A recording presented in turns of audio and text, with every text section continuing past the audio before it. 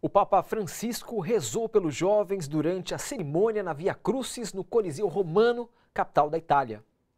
Pela primeira vez na história, os textos das 14 estações da cruz, ou seja, desde a condenação de Jesus à morte até a sua crucificação e sepultura, foram escritos por jovens e adultos entre 16 e 27 anos.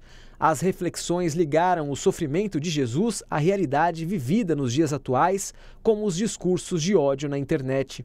Ao presidir a cerimônia, o Papa Francisco rezou pelos jovens e usou três palavras de oração: vergonha, arrependimento e esperança.